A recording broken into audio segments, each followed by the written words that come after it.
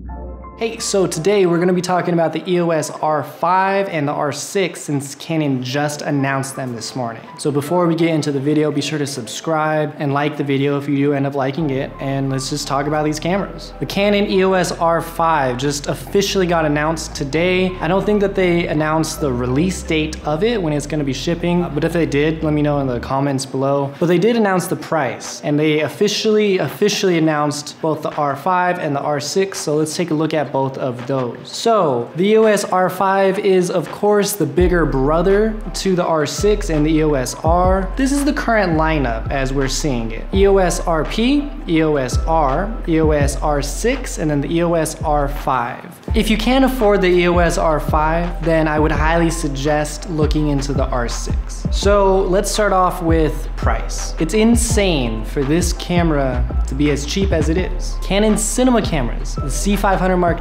II is $16,000 and that films in 6K. The R5, on the other hand, films in 8K and it's gonna come out at under $4,000, $38.99. The EOS R6 is gonna come in at 24 99. So about $2,500. It's right around the price range of an A7 III. So it is that very competitive, like high-end mirrorless camera price range. And then the R5 is a little bit above that, a little bit higher end, but of course you're getting higher end features. So what are those features? So the EOS R5 has a 45 megapixel sensor. That's insane. Um, and then the R6 has a 20 megapixel sensor. The R5 is gonna be the most well-rounded camera that is gonna be released. It's gonna be a really great photography camera with that 45 megapixels, and it's an insane video camera. Of course, talking about video, the EOS R5 is gonna be able to shoot 8K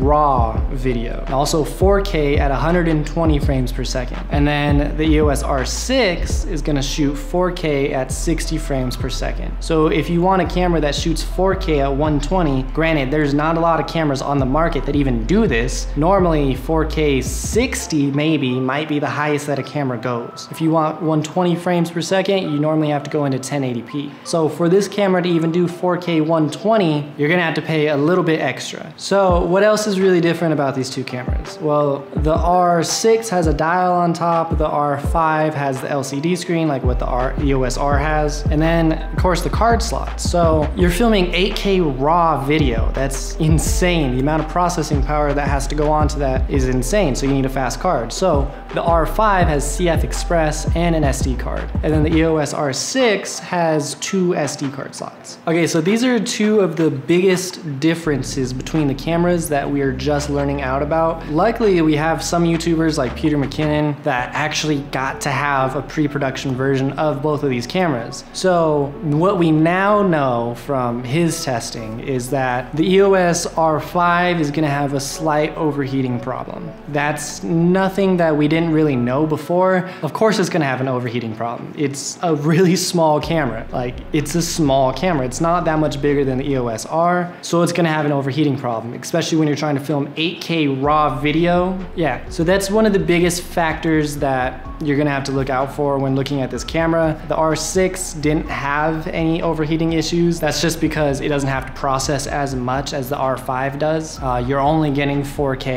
at 60 frames per second, so that's pretty easy for the camera to handle. Both of these cameras have in-body image stabilization. Canon's RF lenses do also have stabilization in them, so you're getting the five-axis image stabilization from the camera, and then the stabilization from the lenses. So the stabilization that you can get from this combination eliminates the need for a gimbal. These cameras are insane. The fact that this camera exists in 2020 hopefully it comes out in 2020 it should come out in august or september hopefully. But the fact that this camera is going to get released in 2020 is insane. So in the palm of your hand with the eos r5 you're going to be able to film 8k raw video with c-log canon's dual pixel autofocus and in-body image stabilization with no crop So this is gonna be one of the most revolutionary cameras to come out. This camera is gonna change everything, literally everything. I'm so glad that Canon has finally got into the game. Like I said, the Canon EOS R5 is gonna come in at $38.99, and then the EOS R6 is gonna come in at $24.99. They're both very competitive. So it's a difference of if you need more megapixels in your sensor, or if you need to film 4K 120 or of course 8K video. If you don't need need to go